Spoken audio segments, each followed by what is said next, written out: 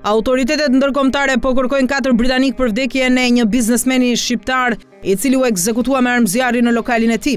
Kështu shkruan e përditshmja britanike The Sun, pasi policia shqiptare mundi të zbardh atentatin ndaj Ardian Nikulajt, i cili ndodhi një javë më parë në Shëngjin.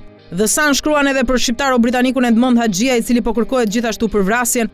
Autoritetet lokale thuhet se po koordinohen me Agjencinë Kombëtare të Krimit dhe Policinë Metropolitane pas vrasjes, e cila ndodhi të mërkurën më nëntëmbëdhjetë prill. Grupi i britanikëve mendohet se janë arratisur në një vend të panjohur pas vrasjes, shkruan The Sun. Në lidhje me ngjarjen, është shpallur në kërkim edhe një portugez, Ruben Saraiva, i cili dyshohet se është ekzekutor i Ardian Nikulajt.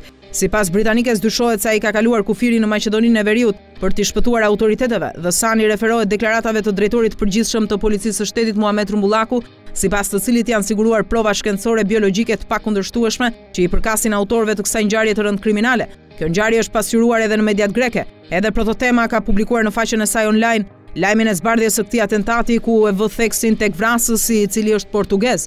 Edmond Haxhia Done me shtetësi shqiptare dhe britanike Ruben Sarajva, shtetas portugez, Harry Simpson, shtetas britanik, Thomas Mithan, shtetas britanik, Steven Hunt, shtetas britanik, Harriet Bridgeman, Shtetase britanike janë gjashtë të shpallurit në kërkim për vrasjen e biznesmenit Nikulaj. Ata kanë dalë të gjithë nga Shqipëria. Dyshohet se informatori kryesor i grupit ishte Steven Hunt, për të cilin është publikuar një foto e marrë nga kamerat e sigurisë të hotelit ku po qëndronte. Nga hetimet e kryera nga policia dhe prokuroria e Lezhës rezultoi se ngjarja kishte motiv gjakmarrjen. Kamerat e sigurisë dhe verifikimet në sistemin TIMS treguan se autorët kanë ndjekur për disa kohë Nikulajn deri në realizimin e vrasjes. Pamfleti është një platformë mediatike analitike që u lind si domosdoshmëri një tribune pa kompromis, si një zë i fuqishëm në luftën pa ekuivok ndaj krimit dhe korrupsionit politik në Shqipëri.